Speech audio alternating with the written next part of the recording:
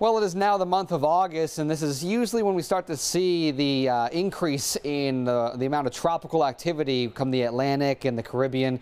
And so three spots we usually watch out for when it comes to tropical development in the month of August is usually right around the Gulf of Mexico is one of the number one spots. Number two would be in the southern Caribbean here, uh, usually right off of the Yucatan Peninsula or even around uh, Jamaica, Cuba.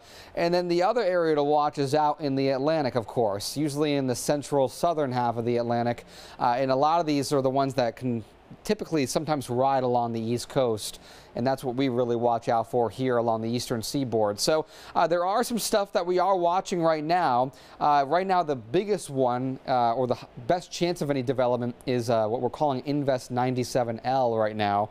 And this is a 90% chance of becoming a tropical system, uh, a named tropical system within the next uh, 48 hours or so. So we'll keep an eye on that, but it's still very far away and it'll be days upon days until we can really get a, a, a good track on that one. So uh, just to show you where we are in terms of the hurricane activity, we're starting the climb here uh, in the month of August. So now we're really starting to see the increase in tropical development. And usually the peak of hurricane season is right around September 10th, September 11th. And so uh, we got quite a while until we are really at peak, uh, but it just goes to show you that there's a lot to watch over the coming weeks. Working for you, I'm 20 Storm Team meteorologist Chris Bouzakis.